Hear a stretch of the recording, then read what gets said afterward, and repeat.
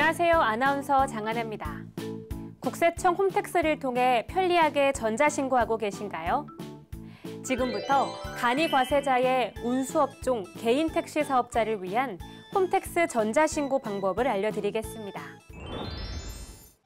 우선 회원 로그인 후에 세금 신고 납부 버튼을 클릭하고 화면 우측에 세금 신고 항목에서 부가가치세를 클릭합니다. 부가가치세 신고 선택 화면이 나타나면 간이과세자 정기 신고 확정 예정 버튼을 눌러주세요. 사업자 기본 사항을 입력하는 화면입니다. 신고 기간은 자동 설정되어 있으므로 별도로 입력하실 필요가 없습니다.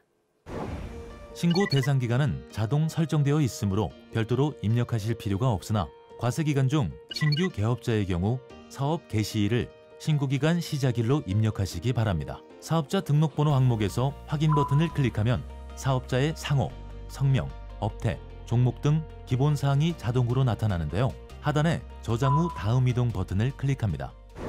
사업자 기본 정보에 업종 선택을 입력하는 화면이 나오면 사업자 본인에 해당하는 업종을 선택하시면 됩니다. 기본적으로 업종 선택에는 본인의 업종인 운수업, 개인 택시가 자동으로 체크 표시되어 나타납니다. 부가가치세가 면제되는 매출금이 있는 경우 또는 영세율 매출이 있는 경우 해당하는 사항을 체크합니다. 만일 이번 신고 기간 중 신고할 매출 실적과 매입 실적이 전혀 없는 무실적 사업자의 경우 무실적 신고 버튼을 이용하면 곧바로 신고를 마칠 수 있습니다. 신고할 실적이 있는 경우 저장 후 다음 이동 버튼을 클릭합니다. 단일 업종을 선택하였습니다. 간편 신고를 하시겠습니까? 라는 메시지 창이 나타납니다. 간이 과세자는 전자신고 편의를 위한 업종별 간편 신고 화면을 이용해 쉽게 신고가 가능합니다. 복수업종 겸업자, 면세 수입 금액이 있는 사업자, 영세율 매출이 있는 사업자, 가산세 해당자, 과세 유형 전환되어 감가상각 자산이나 재고 자산을 신고해야 하는 사업자가 아니면 간편 신고 화면을 이용하여 신고가 가능합니다. 웹페이지 메시지 창에서 간편 신고 이용 대상자인 경우에는 확인을 클릭합니다. 저장이 완료되었습니다. 라는 메시지 창이 뜨면 확인을 클릭합니다. 운수업 개인 택시 간편 신고 작성 화면입니다. 운수업 개인 택시 간편 신고 화면은 한 화면에 해당 서식 모두를 보여줘 더욱 편리하게 작성하실 수 있습니다.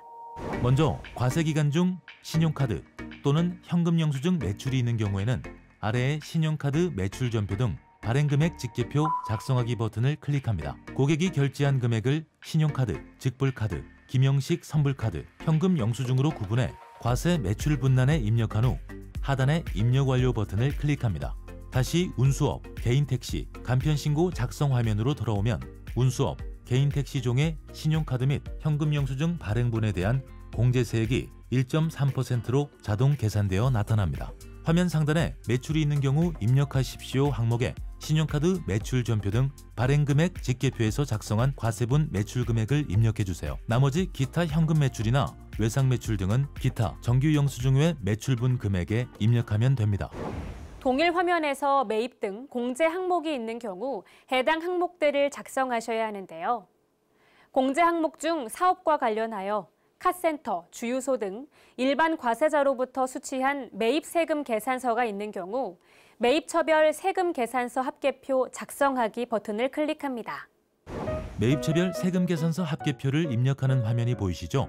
전자세금 계산서 자료조회는 13일부터 가능하며 전산매체 제출용으로 생성한 세금 계산서 합계표를 불러오기로 신고할 경우 변환 페이지 이동 버튼을 클릭하면 됩니다. 전자세금 계산서 발급받은 분은 과세기간 종료일에 다음 달 11일까지 전송된 전자세금 계산서분이 있는 경우 전자세금 계산서 불러오기를 클릭하면 되는데요. 조회된 데이터는 전자세금 계산서 집계 데이터입니다. 반드시 확인 후 입력 완료하시기 바랍니다. 라는 안내창이 나옵니다. 다시 한번 내용을 체크한 후 확인을 클릭하면 자동으로 조회되어 나타납니다. 12일 이후에 전송된 세금 계산서분은 종이 세금 계산서와 전송기간 마감일이 지난 전자세금 계산서 발급분 등 매출처별 명세 작성에 직접 입력해주세요. 매입거래처의 과세 구분에서 과세분을 선택하고 사업자 등록번호를 입력한 후 확인을 클릭합니다. 총 매수와 공급가액 합계를 입력합니다. 거래처별로 입력된 내용이 작성되면 합계액을 확인한 후 입력 완료 버튼을 클릭합니다. 다시 운수업, 개인 택시, 간편 신고 작성 화면으로 돌아와 사업자 관련하여 차량 수리 또는 가스 충전 등을 하고 신용카드로 결제하거나 현금 영수증을 발급받았을 경우 신용카드 매출 전표 등 수령 명세서를 작성합니다. 이 경우에도 일반 과세자로부터 수취한 경우만 공제세액으로 인정될 수 있습니다. 작성하기 버튼을 클릭합니다. 매입 거래처로부터 수취한 신용카드 매출 전표에 기재된 16자리 카드 번호와 가맹점 사업자 번호, 총 거래 건수와 공급가액 합계를 입력합니다.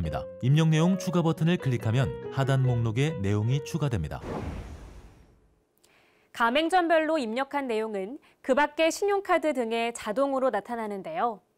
사업용 신용카드의 경우 조회하기 버튼을 클릭해 공제 대상 금액과 대상 건수를 확인 후 각각 입력하시기 바랍니다.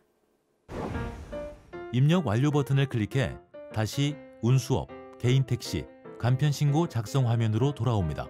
화면 하단에 매입세액 및 공제세액 합계를 확인하시면 되는데요. 누락된 공제가 있으면 해당 서식 작성으로 다시 입력할 수 있습니다. 공제 항목 입력이 모두 완료되었습니다. 하단에 입력 완료 버튼을 클릭합니다. 이때 위 공제 항목에 입력한 공제세액 합계액이 납부할 세액을 초과하는 경우 공제 가능한 세액을 팝업으로 보여주고 확인을 클릭하면 수정된 공제세액이 자동으로 입력됩니다. 과세표준 및 매출세액, 공제세액, 가산세, 수익금액 명세 등 신고 내용을 보여주는 화면입니다. 신고서가 올바르게 작성되었는지 확인한 후 화면 하단에 신고서 입력 완료를 클릭합니다. 신고 내용 요약 조회 및 신고서 제출 화면입니다. 이번 신고 시에는 납부 의무 면제 기준 금액이 공급대가 3천만 원에서 4,800만 원으로 상향돼 오니 화면 하단에 최종 납부할 세액란을 반드시 확인하시기 바랍니다. 단 2020년 1월 1일부터 2020년 12월 31일까지 발생한 매출에 한해 적용되며 부동산 임대 및 매매업과 과세 유흥 장소를 경영하는 사업장은 제외됩니다.